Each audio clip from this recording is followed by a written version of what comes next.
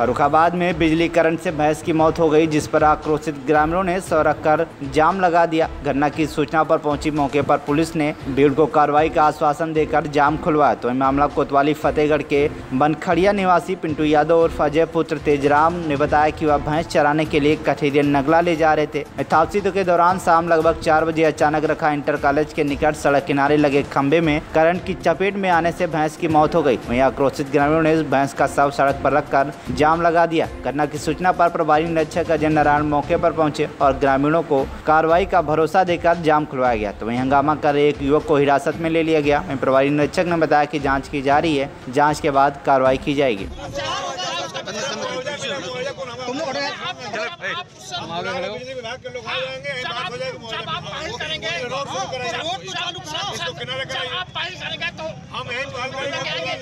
हम अगर वो अभी खत्म हो जाता हाँ, तो कौन तो तो अगर जब आप लिखे देंगे पहल करेंगे तब तो मुआवजा मिलेगा कोई नहीं था ज़िम्मेदारी आप लेंगे इस बात की है तो भाई साहब भाई ले रहे हैं पीएम करवाइए आप ज़िम्मेदारी आप लेंगे भाई हो सूचना दी साहब पहले साहब पहले सूचना दी थी है प्रार्थना पत्र दिया जाता है तुरंत डॉक्टर को बताते वो आता पीएम मैंने कॉल किया था सूचना देते एप्लीकेशन लिख के देते अब आप सूचना दीजिए पुलिस इसीलिए बनी हुई है।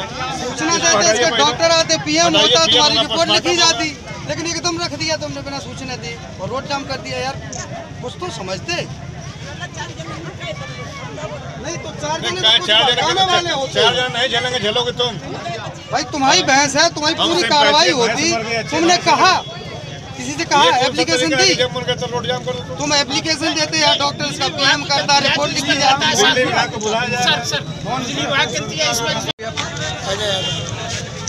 हैं बनखड़िया क्या घटना हुई आपके साथ? अरे भैंस ले आ रहे थे। तो खंभे के पास। क्या काम करते हैं? बेचते थे इसका तो भैंस करंट से मर गई? हाँ।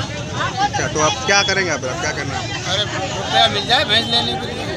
मुआवजा चाहते हैं। आप और क्या मांगे आपकी? और क्या कुछ नहीं तब हमारे मान लो कोई दिक्कत थोड़ी नहीं हमें रुपया मिल जाए हमारे कोई दिक्कत नहीं। तो आप जाम तक खोलेंगे ना मतलब पैसा आ जाएगा जैसा बन जाएगा तो। और बिजली विभाग का क्या करें बिजली विभाग को आपने सूचना दी थी तो कुछ उन्होंने क्या बताया? उन्होंने कहा कि दूसरे के पास करो दूसरे के पास करो काटा ही नहीं। मतलब बिजली विभाग सुन नहीं रहा? कोई नहीं अभी तक कोई अधिकारी या कोई कुछ मौके पर आया अभी कोई तक नहीं है कोई मौके पर नहीं आया। क्या नाम है आपका? हमारा पिंटू। कहाँ रहते हैं? अच्छा क्या मामला हो गया था? बिजली हम लगा रहे भैंस। तो चिपक गई भैंस हम भी खुद चिपक लगे। भैंस करंट से चपक के मर गई? हाँ। अच्छा कितने टाइम घटना है ये? लमसम तीन बजे तो अभी आपने किसी को सूचना दी नहीं थी? अभी कुछ नहीं फ़ोन किया था वो उसने वहाँ से लाइन नहीं काटी। बिजली बिजली विभाग से? पुलिस में आपने सूचना दी? पुलिस ने